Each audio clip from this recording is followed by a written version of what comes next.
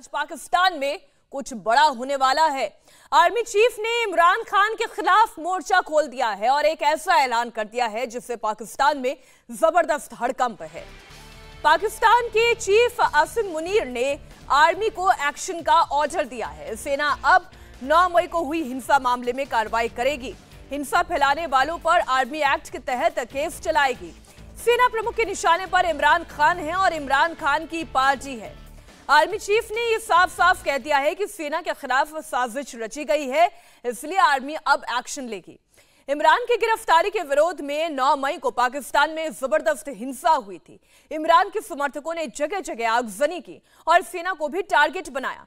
Army commanders के सरकारी घर को निशाना बनाया गया, तोड़फोड़ की गई, आगजनी की गई।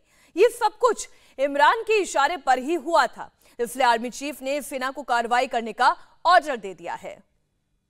आर्मी चीफ ने यह फैसला स्पेशल कॉप्स कमांडर की मीटिंग में लिया। स्पेशल कॉप्स कमांडर की एक मीटिंग में लाई गई और इस मीटिंग में यह फैसला लिया गया।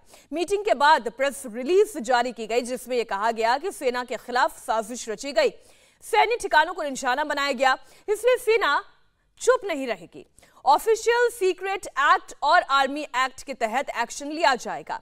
आर्मी चीफ ने एक्शन का फैसला उन लोगों के खिलाफ लिया है जो 9 मई को हुई हिंसा में साजिश में शामिल थे। कहा जा सकता है कि इमरान खान अब सेना के डायरेक्ट टारगेट पर हैं, क्योंकि इमरान समर्थकों ने सेना के खिलाफ हिंसा फैलाई थी। सेना के दफ्तरों और मिलिट्री ऑफिसर्स के सरकारी बंगलों पर भी हमले किए गए थे। इंडिया टीवी, हर वक्त, हर जगह। डाउनलोड करने के लिए सर्च करें India TV news, Google play store या एप स्टोर पर।